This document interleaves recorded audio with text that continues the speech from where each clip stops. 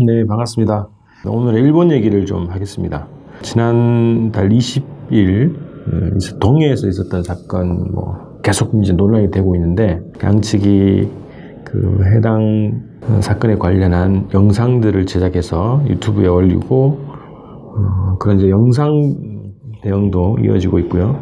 일본은 아베가 직접 나서서 이 사건을 키우려고 하고 있고 어, 한국은 어, 국방부가 어, 나름 이제 강경 대응을 하는 모양새입니다. 초계기가 위협 비행한 사건이죠.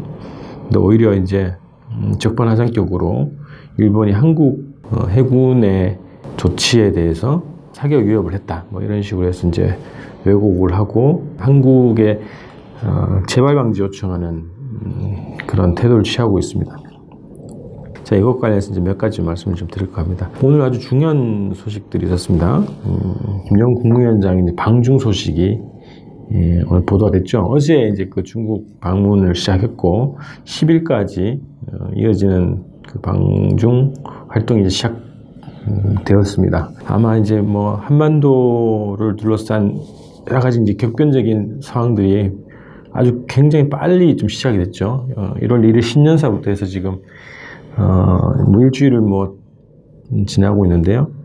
바로 이제 그 한반도를 둘러싼 이제 외교전이 본격화되고 있는 것이다 이렇게 보여지고 있고 김정은 국무위원장의 방중을 시작을 해서 아마 시진핑 주석도 방북을 하지 않을까 상반기에 그리고 북과 러시아의 정상회담 그리고 남북 정상회담 서울 방문 그리고 북미 2차 정상회담까지 아마 상반기 빠른 시간 안에 이 거대한 정치 일정들이 펼쳐지지 않을까 좀 예상이 됩니다. 요거는 새로운 뉴스가 나오면 어, 그 관련 주제로 좀 말씀드리는 걸로 하고요. 오늘 일본 말씀드린다고 했습니다. 자, 일본이 동해에서의 군사 도발을 한 사건이죠. 이 사건은 우리 한국 해군의 광개토 대항함이 어, 일본 초계기를 상대로 해서 사격을 위한 레이더를 조준했다. 뭐 이런 것이 이제 일본의 주장인데 어, 뭐 영상을 보면 명백하게 드러난 것은 일본이 어, 구조작전 중에 있는 조난당 북한 어선을 어, 인도주의적으로 구출하는 구조하는 그런 현장에 나타나서 위협 비행을 한 것이 이번 사건의 본질이라고 할 수 있습니다. 그래서 이거를 일본의 군사 도발 이렇게 좀 명명을 해야 될 것 같고요. 뉴스가 잠깐 나온 것 같긴 한데요. 한국 해군의 교전 수칙이 있을 텐데요. 만약에 저렇게 그 상대국의 어떤 제 3의 국가의 어, 군용기나 어떤 군사 무기들이 어, 우리 아군에 대한 어떤 행동을 했을 때 수칙, 교전 수칙을 어떻게 어, 적용할 것이냐. 이 문제가 이제 정해져 있을 텐데 뭐 이 정도면 그 초계기에 대해서 경고 방송을 하고 경고 사격까지 했어야 되는 거 아니냐. 뭐 제 상식으로는 좀 그런데요. 어쨌든 그런 대응을 하지 않았기 때문에 오히려 더 어, 쟤네들이 이제 일본이 논란을 일으키는 거 아니냐 이런 생각도 드는데 어쨌든 강경 대응을 해야 된다 일본을 대상으로 해서는 그런 건데 어쨌든 이런 논란을 불러일으키고 있는데 18일 날 12월 18일 일본이 이제 방위대강을 발표를 했다는 겁니다.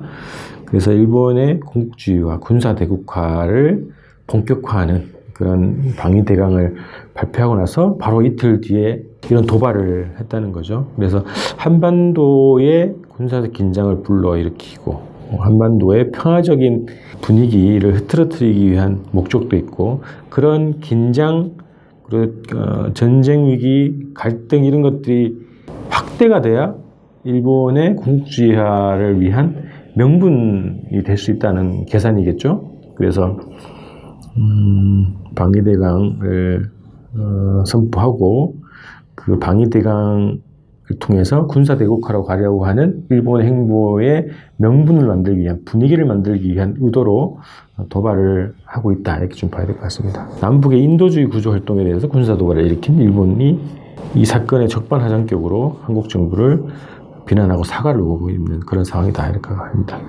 족쳐야 됩니다. 어, 일본 내 군사 도발에 대해서는 강경하게 대응을 해야 됩니다. 일본은 앞으로 계속 도발을 할 겁니다. 지금은 약간 이제 그 여론에 일본이 좀 밀리고 있는 거죠. 한국 정부가 좀 강하게 대응하는 것도 있고, 어, 국제적으로 별 관심이 없어 보이긴 합니다만, 어쨌든 일본은 앞으로 어, 계속 음, 도발을 할 것이다.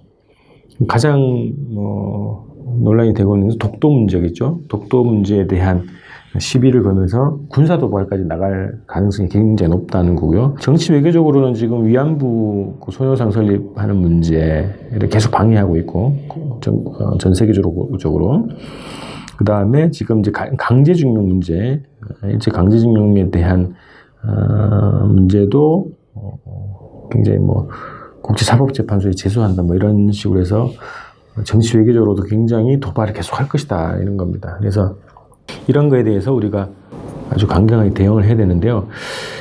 어, 나라가 분단되어 있고 남북이 이제 분단되어 있는 조건에서 일본이 이런 도발, 농락, 희롱, 음, 그죠? 이런 것들을 아주 쉽게 한다는 거예요. 그래서 우리는 일본의 도발에 대해서 대응에 대해서 남북이 공동 대응을 시급히 적극적으로 구체적으로 모색을 해야 한다 어, 생각을 합니다. 한반도 주권 평화를 위한 공동 대응을 해야 된다는 거고 이게 이미 남북 간에는 여러 가지 합의들을 통해서 이런 문제를 공동 대응할 수 있는 충분한 계획과 합의 내용들이 있다는 겁니다.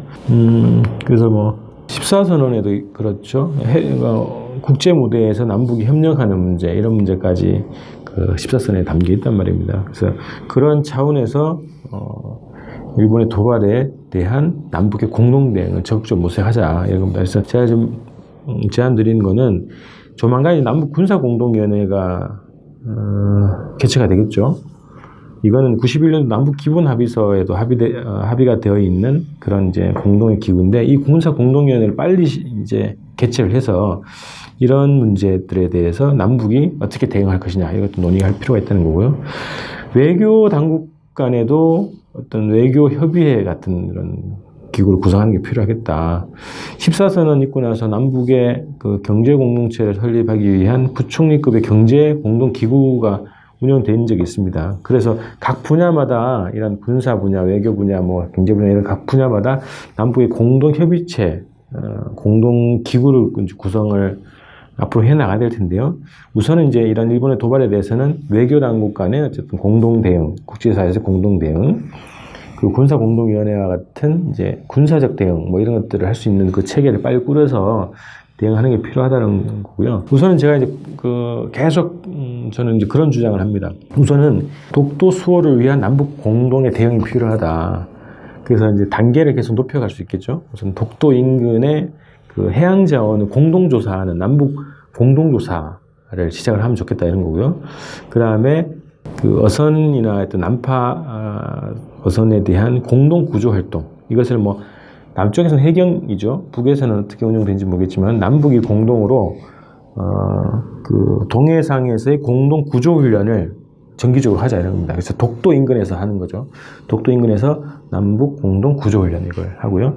좀 더 발전을 하게 되면 독도 수호를 위한 남북 합동 군사 훈련 이거를 하자 이겁니다. 충분히 뭐 상상 가능하고 불가능할 것도 없고요.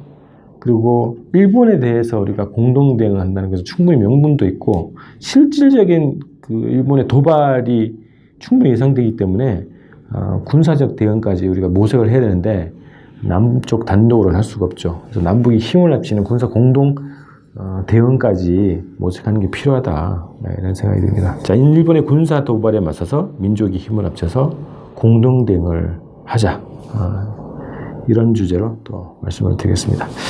자, 다음 그 목요일은 아마 이제 그 북중 정상회담 요 얘기를 좀 아, 하게 될 것 같은데요. 어쨌든 다음 목요일에 다시 뵙겠습니다. 고맙습니다.